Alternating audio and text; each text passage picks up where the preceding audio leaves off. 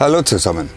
Mein heutiges Thema Fotografieren bei Nacht, Nebel und Licht. Bitte bleibt dran, gleich geht's weiter.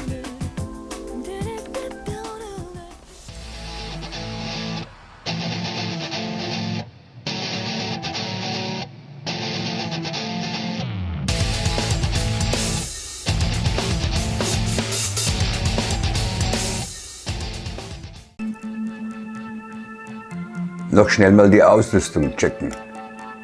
Zwei Stative, zwei Kamerarucksäcke.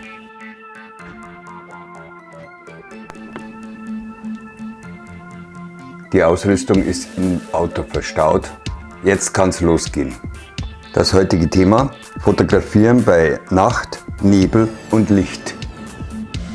Bei Nacht das vorhandene Licht nutzen und der Nebel wirkt wie ein Diffusor. Kamera aufgebaut, Einstellungen vorgenommen und nun das erste Bild. Der Nebel bringt Licht ans Tag, wo man es kaum noch vermuten lässt. Gleich nebenan meine zweite Location. Auch hier ist gut zu erkennen, wie der Nebel jegliches Licht reflektiert.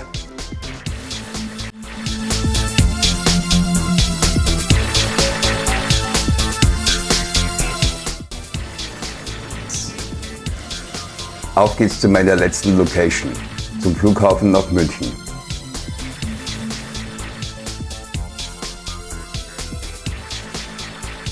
Ich habe ein wunderschönes Plätzchen gefunden, um diese Art zu fotografieren darstellen zu können.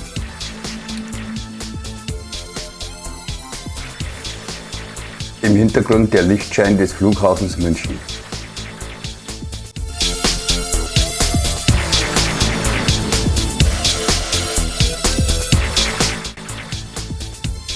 Wer schon mal bei Nacht auf dem Flughafen München war, kennt bestimmt das große beleuchtete M.